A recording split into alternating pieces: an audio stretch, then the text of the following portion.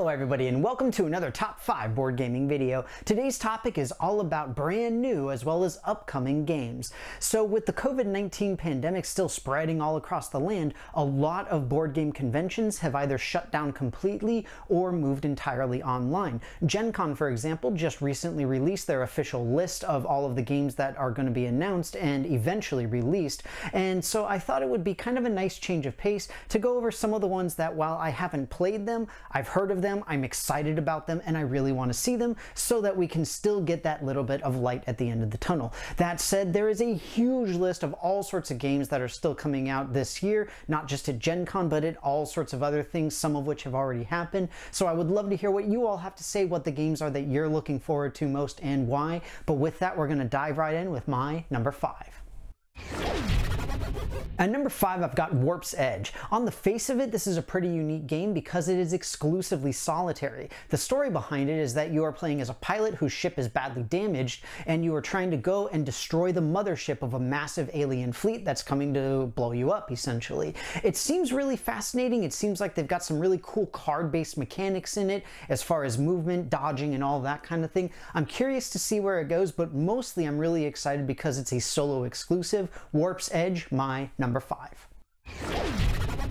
At number 4, I've got the Unmatched series. The most recent installment of this is Jurassic Park, which just sounds awesome because Jurassic Park, and it sounds very similar to Raptor, but this game series really kind of does a Raptor combined with Deadliest Warrior idea, where you have a bunch of random things kind of splatted down into a game table and fighting against one another. They're two-player games where you've got Team 1 versus Team 2. In the case of Jurassic Park, the, um, the keeper versus the dinosaurs, just like Raptor. But then you also have things like Robin Hood versus Bigfoot.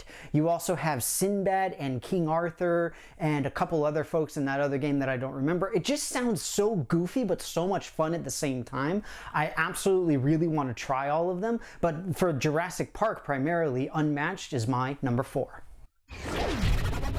And number three, I've got Freedom!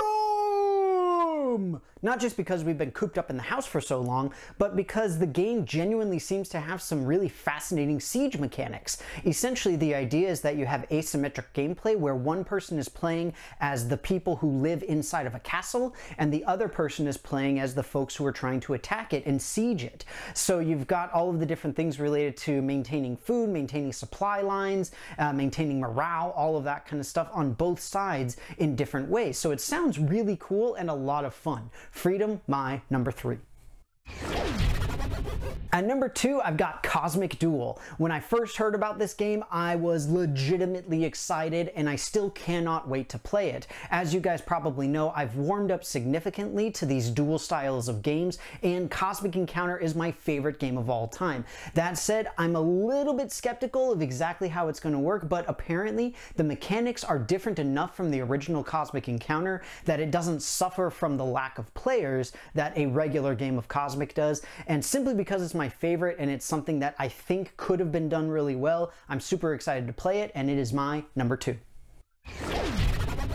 At number one, I've got the expansion for Dune. So for anybody who has read the books and or played the game, you know that Dune is a massive, massive world with a lot of intrigue going on. The expansion to the game adds some of the key houses that were left out of the original game from the books, and the fact is that they are never going to get all of the material from the book, but I absolutely love the game. I've only played it once, but I really, really want to get the expansion. I love the series, even though it's very convoluted and difficult. It has has amazing world building, and I just completely geek out over the entire thing. Super excited to see the expansion for what it is, and more importantly, just get the base game so that I can play it whenever I want. But with that, the Dune expansion is my number one. Well, everybody, that's it for me. I hope you enjoyed this video on the five games that I am most excited to play that have recently been released or are yet to be released. With the convention circuit shut down, it's really unfortunate so that we're not able to go and actually try these games out, but thankfully we're able to see a lot of material online. We're able to still see components, playthroughs, and all of that kind of stuff. So I'm still psyched up to be able to do it, and I can't wait to put some of these games on the table.